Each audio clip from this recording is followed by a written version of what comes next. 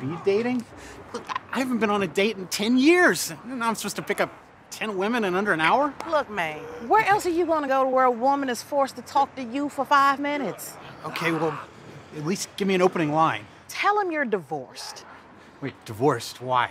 It gives you a worldwide seal of approval, just like having a threesome with your buddies. What are you talking about? A divorce tells a lady many things about a man, all good.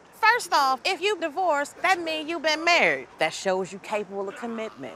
Also, it proves there was at least one other woman who consensually desired you of her own volition. That's what we call validation.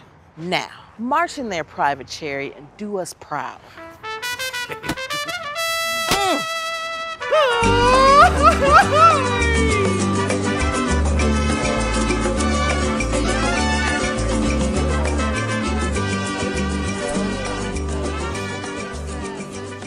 So, if I was sitting across from one of your friends and they had to sell me on Mr. Ricky Leary, what are some of the good things they tell me? Well, I've been divorced five times.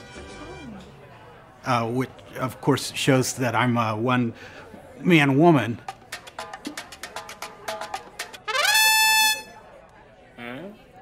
So you're divorced? Uh, happily, uh, but just three times.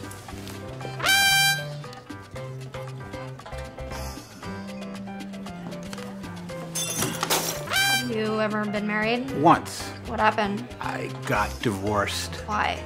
I hit her?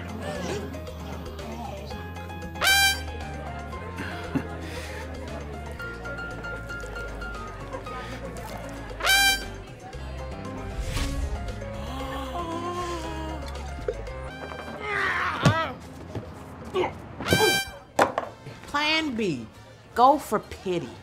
You mean like take my shirt off? No, no. Tell them the reason you looking so bad right now is because you was single dad, was up all night taking care of your sick kid. I'm looking bad? Well, ragged. Ricky, keep your eye on the prize. This is no time for ego. Your daughter has brain cancer? Yeah. Oh, God, you poor thing. How long do the doctors give her?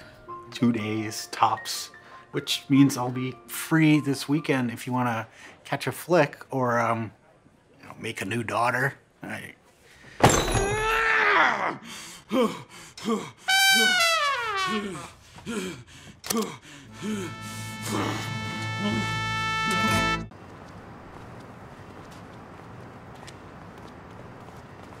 Speed dating? Second. I haven't been on a date in years and now I have to pick up 10 women in under an hour?